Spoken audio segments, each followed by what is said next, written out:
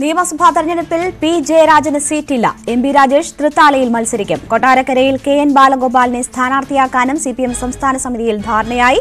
V. V. Arun വിവരങ്ങളുമായി ചേരുന്നു അരുൺ എന്തൊക്കെയാണ് പി. ജയരാജന് പ്രതികൂലവും എം. പി. രാജേഷിന് അനുകൂലമായിട്ടുള്ള ഘടകങ്ങളായി വിലയിരുത്തപ്പെട്ടത്? മറ്റു വിവരങ്ങൾ എന്തൊക്കെയാണ്?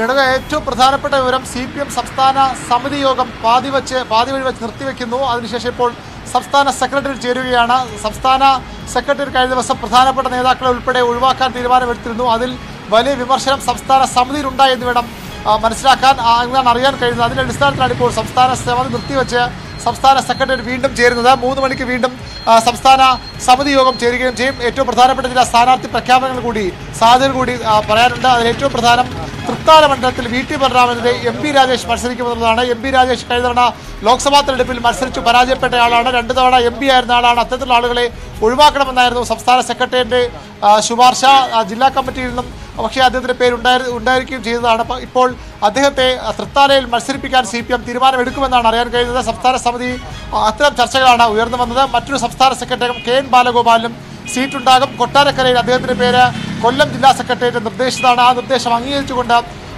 എം പി രാജേഷിന് പുറമെ കെ എൻ ബാലഗോപാലിന് കൂടി ഇടവ് നൽകാൻ സി പി എം സംസ്ഥാന സമിതി തീരുമാനിക്കുന്നു. തിരുവനന്തപുരത്ത് ഒരു പ്രധാനപ്പെട്ട മാറ്റമുണ്ട്. അരുവിക്കരയിൽ സംസ്ഥാന ജില്ലാ സെക്രട്ടറി അംഗമായ വി കെ മധുവിന്റെ പേരാണ് ജില്ലാ നേതൃത്വം നിർദ്ദേശിച്ചത്. അദ്ദേഹം വളരെ നേരത്തെ മണ്ഡല പ്രചരണം ആരംഭിച്ചതുമാണ്. അദ്ദേഹം നേരത്തെ തിരുവനന്തപുരം ജില്ലാ പഞ്ചായത്തിന്റെ പ്രസിഡന്റുമായിരുന്നു. ഇപ്പോൾ വി കെ മധുവിന് സീറ്റില്ലാതെ വളരെ പ്രധാനപ്പെട്ട വിവരം പുറത്തു വരുന്നു. ജി സ്റ്റീഫനാണ് എസ് എഫ് ഐയുടെ തിരുവനന്തപുരം ജില്ലയിൽ നേരത്തെ പ്രധാനപ്പെട്ട നേതാവ്. കാട്ടക്കട ഏരിയ കമ്മിറ്റി അംഗം കൂടിയായ ജി സ്റ്റീഫൻ അവിടെ മത്സരിക്കും. ഇളവ് ഒഴിവാക്കുന്ന ഒരു വിമർശനം ഉറച്ച സീറ്റുകളിൽ പരീക്ഷണം വേണ്ട എന്ന നിർദ്ദേശമാണ് സംസ്ഥാന സമിതി സെക്രട്ടേറിയറ്റ് നൽകുന്നത്. സംസ്ഥാന സെക്രട്ടേറിയറ്റിനെ സംസ്ഥാന സമിതി തിരുത്തുന്നു എന്ന വളരെ പ്രത്യേകതയുള്ള തീരുമാനം കൂടി ഇതിന്റെ ഭാഗമായി ഉണ്ടാകുന്നു. തുടർഭരണം ലക്ഷ്യമിട്ടാണ് സർക്കാർ മുന്നോട്ട് നീങ്ങുന്നത്. അപ്പോൾ ഈ ഉറച്ച സീറ്റുകളിൽ പരീക്ഷണം വേണ്ട എന്ന വളരെ പ്രധാനപ്പെട്ട നിർദ്ദേശം സംസ്ഥാന അങ്ങനെയാണെങ്കിൽ അരുൺ അങ്ങനെയാണെങ്കിൽ ആലപ്പുഴയിലെ കാര്യങ്ങളിൽ വലിയ മാറ്റം മാറ്റമുണ്ടാകാതെ തന്നെ തെരഞ്ഞെടുപ്പ് സ്ഥാനാർത്ഥികളുടെ പ്രഖ്യാപനം ഉണ്ടാകുമോ? ഐസക്കിനും സുധാകരനും ഒക്കെ മത്സരിക്കാൻ കഴിയുന്ന ഒരു സാഹചര്യത്തിലേക്ക് കാര്യങ്ങൾ എത്തുമോ?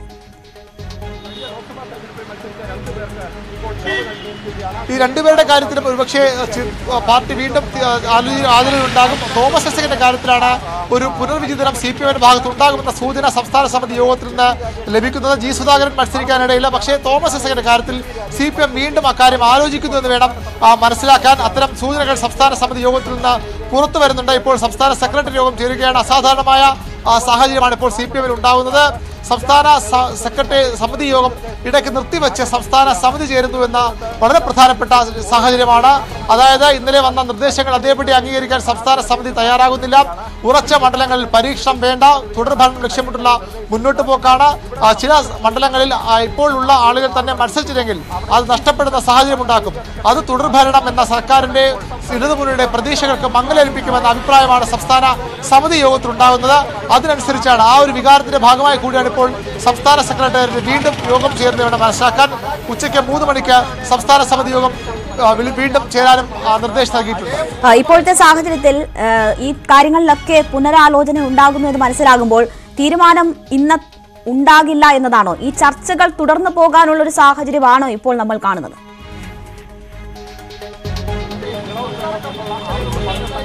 ഇന്ന് തന്നെ തീരുമാനമുണ്ടാകും. ഇന്നുകൊണ്ട് തന്നെ സി പി എമ്മിന്റെ സ്ഥാനാർത്ഥി പട്ടികയ്ക്ക് ഏകദേശം രൂപമാവുകയും ചെയ്യും. ഇനി തർക്കമുള്ള സംസ്ഥാന സമിതി നിർദ്ദേശിച്ചാലും തർക്കമുള്ള മണ്ഡലങ്ങൾ ഒരുപക്ഷെ ഉണ്ടായേക്കാം. വിരലുണ്ടാവുന്ന മണ്ഡലങ്ങൾ അത്തരത്തിലുണ്ടാകും. അവ ഇന്ന് സംസ്ഥാന സമിതി തീരുമാനം നാളെ ജില്ലാ കമ്മിറ്റികൾ ചേരുന്നുണ്ട്. ആ ജില്ലാ കമ്മിറ്റികൾ റിപ്പോർട്ട് ചെയ്യും. പിന്നീട് മണ്ഡലം കമ്മിറ്റികൾ ചർച്ച ചെയ്യും. അവിടെ എന്തെങ്കിലും ഗുരുതരമായ അഭിപ്രായ വ്യത്യാസം ഉണ്ടെങ്കിൽ പിന്നീട് സംസ്ഥാന നേതൃത്വം ജില്ലയിൽ പരിഹരിക്കാൻ പറ്റാത്ത പ്രശ്നങ്ങളാണെങ്കിൽ സംസ്ഥാന നേതൃത്വം വീണ്ടും അതിലിടപെടും ഒരുപക്ഷെ അപ്പോൾ വീണ്ടും സംസ്ഥാന സമിതി ചേർന്നേക്കില്ല. പകരം സംസ്ഥാന സെക്രട്ടേറിയറ്റ് യോഗം ചേർന്നാകും ആ കാര്യത്തിൽ അന്തിമ തീരുമാനമെടുക്കുക. ഏതായാലും ഇപ്പോൾ വളരെ പ്രധാനപ്പെട്ട വാർത്തയായി പുറത്തു വരെ വരുന്നത് നമുക്ക് ലഭ്യമാക്കാനുള്ളത് സംസ്ഥാന സമിതി യോഗത്തിന്റെ നിർദ്ദേശങ്ങൾ സംസ്ഥാന സെക്രട്ടറി വീണ്ടും പരിഗണിക്കുന്നു. ഉറച്ച സീറ്റുകളിൽ വിജയസാധ്യത മാനദണ്ഡമാക്കി ഇളവുകൾ അനുവദിക്കണം. ആർക്കും ഇളവില്ലാതെ രണ്ട് ടൈം എന്ന നിബന്ധനയുമായി മുന്നോട്ട് പോകേണ്ട എന്ന നിർദ്ദേശമാണ് സംസ്ഥാന സമിതിയുടെ ഭാഗത്ത് ഉണ്ടായിട്ടുള്ളത്. അരുൺ ഇക്കാര്യത്തിൽ ഈ ടേം വ്യവസ്ഥയിൽ ചിലർക്കെങ്കിലും ഇളവ് നൽകാനുള്ള ഒരു സാഹചര്യമാണ് ഈ ചർച്ചകളിലൂടെ ഉരുത്തിരിഞ്ഞിരുന്നത് എന്ന് മനസ്സിലാകുന്നു. അതേപോലെ തന്നെ ലോക്സഭാ തെരഞ്ഞെടുപ്പിൽ മത്സരിച്ച് തോറ്റവർക്ക് സീറ്റ് വേണ്ട എന്ന ഒരു നിർദ്ദേശവും തീരുമാനവും ഉണ്ടായിരുന്നു. പക്ഷേ അക്കാര്യത്തിൽ എം പി രാജേഷിന് ഇളവ് നൽകുന്നു. അപ്പം പി ജയരാജന് മത്സരിക്കാൻ സീറ്റില്ലാത്ത സാഹചര്യവും ഉണ്ടാകുന്നു. ഇതൊക്കെ ഏതെങ്കിലും തരത്തിലുള്ള ആഭ്യന്തര പ്രശ്നങ്ങളിലേക്ക് വഴിവെക്കുന്നതാണോ? ഈ ഇളവുകൾ നൽകുന്നതിനെ എങ്ങനെയാണ് ന്യായീകരിക്കുക? ഇളവുകൾ കൊട്ടാരക്കരയിൽ കെ എൻ ബാലഗോപാലിന്റെ സാന്നിധ്യം അനിവാര്യമെന്ന വിലയിരുത്തൽ കാരണം ഐഷ പോറ്റിയാണ് അവിടെ കഴിഞ്ഞ അവിടെ മത്സരിക്കുന്നത്. അവർക്ക് ഇളവ് നൽകണമെന്ന ശുപാർശ ജില്ലാ സെക്രട്ടറി ഭാഗത്തുണ്ട്. പക്ഷേ അത് അംഗീകരിക്കാതെ ആ പട്ടികയിൽ തന്നെ ഉൾപ്പെട്ട K N Balagopal K N ബാലഗോപാലിന്റെ പേരും അവിടെ നിന്ന് സ്ഥാനാർത്ഥി പട്ടികയിൽ നിർദ്ദേശത്തിലുണ്ടായിരുന്നു. അദ്ദേഹത്തെ പരിഗണിക്കാൻ സി പി എം തീരുമാനമെടുക്കുകയാണ്. അതുമായി ബന്ധപ്പെട്ട കാര്യമായ പ്രശ്നങ്ങൾ കൊല്ലം ജില്ലയിൽ ഉണ്ടാകാനിടയില്ല. പി. ജയരാജന്റെ വിഷയം കണ്ണൂരിലെ പ്രാദേശിക നേതൃത്വങ്ങൾ അല്ലെങ്കിൽ അവിടുത്തെ പാർട്ടി അണികൾ വലിയ ആകാംക്ഷയോടെ കാത്തിരുന്ന കാര്യമാണ് പി ജയരാജന് സീറ്റ് ഉണ്ടാകുമോ എന്ന കാര്യം ഇന്ന് രാവിലെ നമുക്ക് ലഭിച്ച വിവരം അനുസരിച്ച് പി ജയരാജിന്റെ പേരും അഴീക്കോട്ടേക്ക് പരിഗണിച്ചു എന്നുള്ളതാണ്. പക്ഷേ ഇപ്പോൾ ഇപ്പോൾ ലഭിക്കുന്ന വിവരം അനുസരിച്ച് പി ജയരാജന് സീറ്റ് ഉണ്ടാകില്ല. മറ്റാരെയോ അവിടെ സി പി എം പരിഗണിക്കുന്നു. ആരാണെന്ന കാര്യത്തിൽ അല്പം കൂടി വ്യക്തത വരേണ്ടതുണ്ട്. ഏതായാലും വളരെ പ്രധാനപ്പെട്ട തീരുമാനങ്ങളിലേക്ക് സി പി എം പോവുകയാണ്. ആ, ഇളവ് അനുവദിക്കുന്നവർക്ക് അനുവദിക്കുന്നവരുടെ എണ്ണം കൂടാൻ തന്നെയാണ് സാധ്യത. ലോക്സഭാ തെരഞ്ഞെടുപ്പിൽ മത്സരിച്ചവർക്ക് ഇളവുണ്ടാകുമെന്ന സൂചനകൾ ഇന്നലെ തന്നെ പുറത്തു വന്നിരുന്നു. പക്ഷേ ഇത്തരത്തിൽ രണ്ടിന്റെയും നിബന്ധന കർശനമായി പാലിക്കാൻ ശ്രമിക്കുമ്പോൾ കൂടുതൽ നേതാക്കൾക്ക് അവസരം നൽകും. അത് വിജയം മാനദണ്ഡമാക്കണം തുടർഭരണം വേണമെങ്കിൽ ഇത്തരം ഇളവുകൾ വേണമെന്ന അഭിപ്രായമാണ് സംസ്ഥാന സമിതി യോഗത്തിൽ ഉണ്ടായത് വി വി അരുണാണ് വിവരങ്ങൾ നൽകിയത്. സുപ്രധാനമായ ചില വിവരങ്ങളാണ് സംസ്ഥാന സമിതി നിർത്തിവെച്ച് സെക്രട്ടേറിയറ്റ് ചേരുകയാണ്. രണ്ട് ടേം വ്യവസ്ഥയിൽ ഇളവ് നൽകാനുള്ള നീക്കങ്ങളാണുള്ളത്. ഉറപ്പായ സീറ്റുകളിൽ പരീക്ഷണം വേണ്ട ഈ ഘട്ടത്തിൽ എന്നതാണ് നൽകിയിരിക്കുന്ന നിർദ്ദേശം. അങ്ങനെയുള്ള ചർച്ചകൾ പുരോഗമിക്കുന്നു. ചിലർക്കെങ്കിലും ഇളവ് ലഭിക്കാനുള്ള സാഹചര്യമാണുള്ളത്. പി ജയരാജൻ പക്ഷേ ഈ തെരഞ്ഞെടുപ്പിൽ മത്സരിക്കില്ല എന്നും ഉറപ്പായിരിക്കുന്നു. വി വി അരുൺ വിവരങ്ങൾ നൽകിയത്. പട്ടാമ്പയിൽ മുഹമ്മദ് മുഹസിനെ മാറ്റണമെന്നാവശ്യപ്പെട്ട് സി പി ഐ പ്രാദേശിക നേതൃത്വം. മുഹസിൻ സി പി ഐ പ്രാദേശിക നേതൃത്വവുമായി സഹകരിക്കുന്നില്ല എന്നാണ് പരാതി. സി പി ഐ ജില്ലാ എക്സിക്യൂട്ടീവ് അംഗം ഒ കെ സൈദലവിയെ സ്ഥാനാർത്ഥിയാക്കണമെന്നാണ് ആവശ്യം. പ്രസാദ് ഉടുമ്പശ്ശേരി ഉരങ്ങുമായി ചേരുന്നു. പ്രസാദ് വലിയ പ്രതിഷേധമാണോ മുഹമ്മദ് മുഹസിനെതിരെ ഉയരുന്നത്? സി പി ഐയിൽ ഏതെങ്കിലും തരത്തിൽ അവിടുത്തെ സ്ഥാനാർത്ഥി നിർണയത്തിൽ വലിയ പ്രതിസന്ധി ഈ നീക്കം സൃഷ്ടിക്കുമോ? രേണുക കഴിഞ്ഞ കുറെ നാളുകളായി സി പി ഐയുടെ പ്രാദേശിക നേതൃത്വവുമായി ഉണ്ടായിട്ടുള്ള മുഹമ്മദ് മുസ്ലിനുമായി ഉണ്ടായിട്ടുള്ള തർക്കമാണ് ഇപ്പോൾ വലിയൊരു പൊട്ടിത്തെറിയിലേക്ക് നീങ്ങിയിട്ടുള്ളത്. മുഹമ്മദ് മൂസിനെ ഒരു കാരണവശാലും അവിടെ സ്ഥാനാർത്ഥിയായി പട്ടാമ്പിയിൽ സ്ഥാനാർത്ഥിയായി അംഗീകരിക്കാനാവില്ല എന്നുള്ളതാണ് സി പി ഐ പട്ടാമ്പി മണ്ഡലം കമ്മിറ്റിയുടെ നിലപാട്. ഇന്ന് വൈകിട്ട് നാല് മണിക്ക് പട്ടാമ്പിയിൽ മണ്ഡലം കമ്മിറ്റി ചേരുന്നുണ്ട്. നേരത്തെ കഴിഞ്ഞ തവണ തെരഞ്ഞെടുപ്പിൽ O K Saidalavi C P ഐയുടെ ജില്ലാ എക്സിക്യൂട്ടീവ് ആയിട്ടുള്ള ഒ കെ സൈതലവി ആയിരുന്നു നിർദ്ദേശിച്ചിരുന്നത്. പക്ഷേ മുഹമ്മദ് മുസ്ലിം പിന്നീട് വളരെ യാദർശികമായാണ് മുഹമ്മദ് മുസ്ലിം പട്ടാമ്പിയിൽ സ്ഥാനാർത്ഥിയാകുന്നത്. അതിനുശേഷം Muhammad Muslim M L A അതിനുശേഷം അദ്ദേഹം സി പി ഐയിലെ പ്രാദേശിക നേതൃത്വവുമായി യാതൊരുവിധ സഹകരണവും ഉണ്ടാകുന്നില്ല. സി പി എം നേതാക്കളുമായാണ് മുഹമ്മദ് മുസ്ലിം കൂടുതൽ നിരന്തരം ബന്ധപ്പെടുകയും സഹകരിക്കുകയും എല്ലാം തന്നെ ചെയ്യുന്നത്. അതുകൊണ്ട് തന്നെ മുഹമ്മദ് മുസ്ലിനെ അംഗീകരിക്കാനാവില്ല. പകരം ഒ കെ സൈതലവിയെ സ്ഥാനാർത്ഥിയാക്കണം എന്നുള്ളതാണ് മണ്ഡലം കമ്മിറ്റിയുടെ ആവശ്യം. ഇന്ന് ചേരുന്ന മണ്ഡലം കമ്മിറ്റി പട്ടാമ്പി മണ്ഡലം സ്ഥാനാർത്ഥിയായി ഒ കെ സൈതലവിയായിരിക്കും നിർദ്ദേശിക്കുക. എന്നാൽ സംസ്ഥാന നേതൃത്വം ഈ വിഷയത്തിൽ എന്ത് നിലപാട് സ്വീകരിക്കും എന്നുള്ളത് വളരെ നിർണായകമാണ്.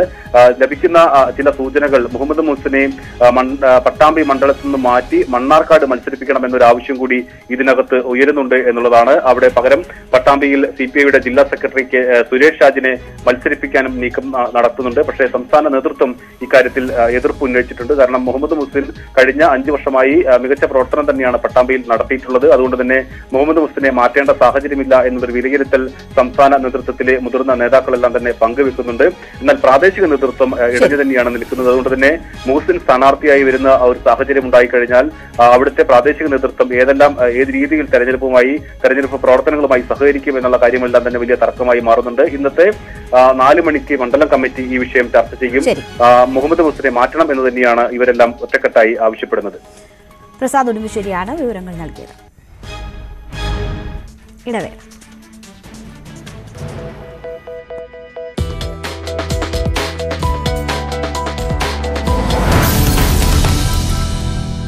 ഈ പരിപാടി നിങ്ങൾക്കായി സമർപ്പിക്കുന്നത്